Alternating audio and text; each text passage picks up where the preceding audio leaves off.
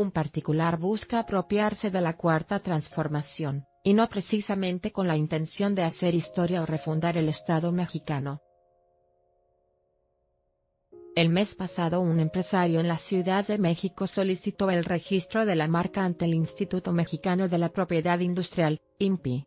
El término que ha usado desde su campaña el presidente electo, Andrés Manuel López Obrador, en el anhelo de que su gobierno sea comparado con el movimiento que encabezaron Juárez en la Reforma, Madero en la Revolución y Miguel Hidalgo en la Independencia, podría terminar estampado en abrigos, zapatos, calcetines y sombreros. De acuerdo con dos expedientes públicos en el INPI, un particular pagó alrededor de 3 mil pesos para iniciar el proceso para obtener el registro de marca para la 4A transformación el 17 de octubre pasado.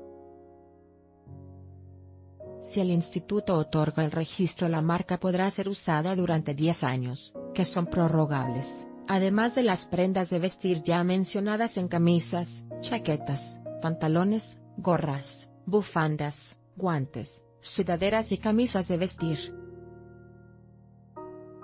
Más recientemente, el mismo ciudadano pagó un monto igual para el registro de la marca pero con la finalidad de usarla en banderas, banderines o etiquetas adhesivas. Este diario publicó que el término AMLO obtuvo ya es una marca registrada, mientras que empresas, particulares y cercanos a Morena buscan inscribir en el INPI las frases te AMLO como almohadilla yo sí te creo AMLO, me gusta AMLO y te AMLO a ti sabes quién. AMLO B, que se hizo visible en las fundas de algunos colaboradores del presidente electo obtuvo el registro en agosto, cuatro meses después de que un particular en Coahuila hizo la solicitud. También en el contexto de las campañas políticas se iniciaron los trámites de AMLO a ¿sabes quién? Te AMLO como almohadilla yo sí te creo AMLO, me gusta AMLO y AMLO, que continúan pendientes.